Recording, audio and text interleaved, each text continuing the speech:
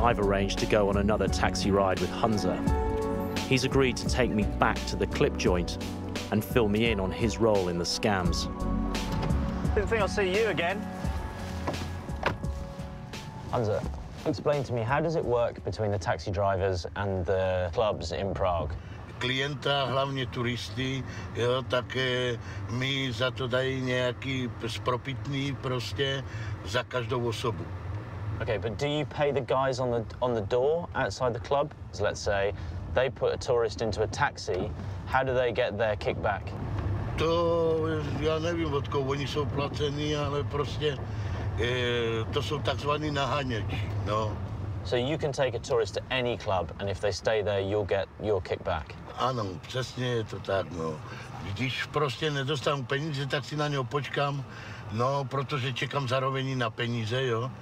A když prostě on vyleze ven a, a nebude tam, no, tak ho vezu někam jinam. No a už je jasný, že ne za tu cenu, protože přicházím já o peníze, to je prostě biznis. You, the way you describe it to me, you make it sound as though taxi drivers are pimps in this town. No jo, dalo by se říct, že ano. Protože to je takový mimořádný, mimořádný zisk peněz, když tam odvezu, já nevím, čtyři lidi, tak mám vydělat.